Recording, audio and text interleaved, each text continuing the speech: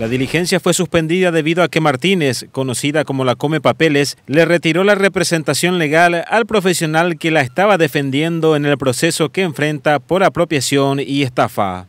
Para mí no se ajusta a la realidad, no es real. Justamente por eso nosotros no aceptamos ninguna medida, nosotros estamos de hecho yéndonos a juicio oral. Yo les adelanto de que ninguna otra medida que no sea llegar hasta un juicio oral nosotros con el doctor Rafael Ramírez estamos preparándonos para ir a juicio oral.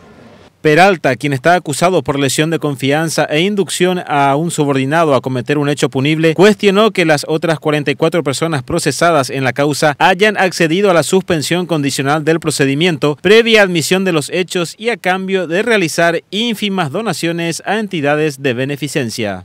¿Cuánto me suman a mí? ¿Qué es lo que finalmente entonces, sin ningún sumario administrativo, sin ninguna investigación si en verdad estas personas trabajaron o no, cobraron indebidamente o no? Esa es la cuestión. Y si la Fiscalía, ¿qué ley utilizó? ¿Qué reglamento utilizó? ¿Qué estatuto utilizó? El juez Elio Velar fijó para el próximo 26 de diciembre la nueva fecha para la preliminar e intimó a Martínez a que nombre un nuevo abogado en el plazo de 24 horas.